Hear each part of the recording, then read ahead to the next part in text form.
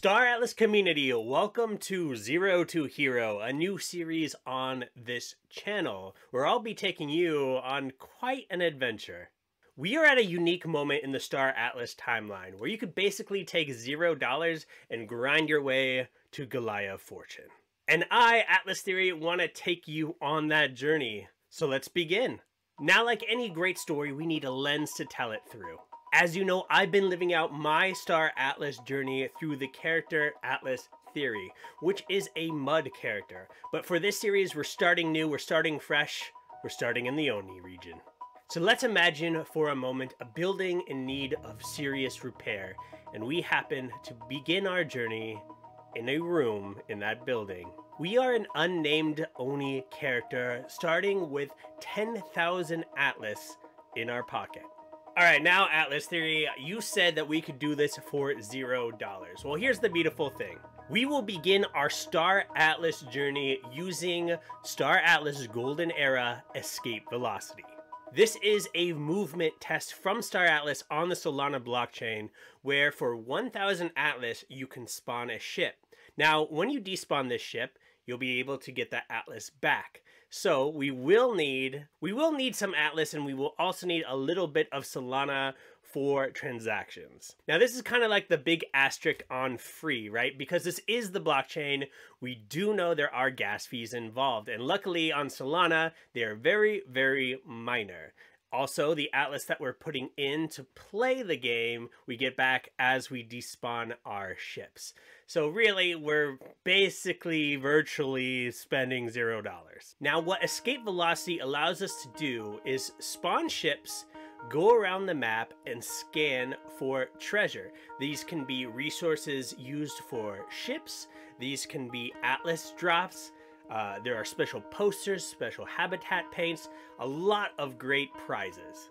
We are looking to do, since we're brand new, we own no ships, we own no claim stakes, this is a new character. We are looking for those special posters and hab paints in hopes that we can flip them and eventually buy a ship. But we'll get there when we get there. Those are later episodes. We're starting new, starting fresh, seeing what we can find. But that is a strategy. I've talked to many of you guys who are new to Star Atlas over on Twitter um, who don't have a lot of money, but you have a lot of time. And that's what this series is for. It's for those grinders. We just happen to be doing that through the lens of a role-playing game character. It is my hope that this character grows with us on this channel. I will have one character per faction. I am a role player at heart, so I want to experience each of them. Um, so that is kind of why we're doing it through this lens. Now you're probably wondering, how are we going to do this? Well, let's get into the details. First, you're going to get a Solflare wallet, and I'll leave that link down in the description. You're going to get a private key, write it down, store it somewhere. Um, make sure that's hidden because whoever can get access to that can get access to your account. Now, once you set up Solflare, you'll have a main account, but what you can do, what you want to do, is open a burner wallet. This will allow us to auto approve transactions while we're playing, so you don't have to hit accept every single time you scan or you move a ship. After you get that burner wallet, what you're going to do is drop a little Solana in there, drop our 10,000 starting Atlas, and we're going to be set to go. If you have any further questions, let me know in the comments below and I can help you guys out. Now Atlas Theory, I don't have 10,000 Atlas. Well, you don't have to have 10,000 Atlas. I'm using that as kind of a starting point for us to spawn 10 ships because I kind of like the number between 9 and 10 while scanning personally. I find it very efficient for scan, move, scan, move. But you can go in with one ship, you can go in with three. It's really up to you guys. So we have our little bit of Solana in our wallet. We have our Atlas. Let's go have some fun. Now I've already been playing for quite a few hours, but as you can see, I have found some posters, some Atlas, some habitat paints. So what we're gonna do is claim these. These are dropped monthly, by the way. So if you don't see them in your wallet right away, it's supposed to be like that. Again, guys, this is a grinding strategy. So you're going to spend a lot of time in escape velocity, just getting as much loot as you can. The resources are great because we will eventually have a ship that we will need to pay those resources for. So don't be discouraged if you're just getting a bunch of resources. It's actually a good thing in this strategy.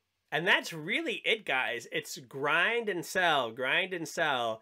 And we're going to be buying ships. We're going to be buying claim stakes. I'm going to take you on that whole journey. Keep up the grind. Keep stashing these items. This is, like I said, a very unique point in the Star Atlas timeline where we can start for basically zero dollars and build our way up. Now we need name suggestions for our Oni character, so leave them in the comments below. Also, if you think this is going to turn out to be a great series, hit that like button for me. I can't wait to build upon this idea, create media with this character, and a whole other bunch of ideas that I have. Good luck on the grind, good luck with those loot drops. I'll see you guys later, and may the blessings of Iris be upon you.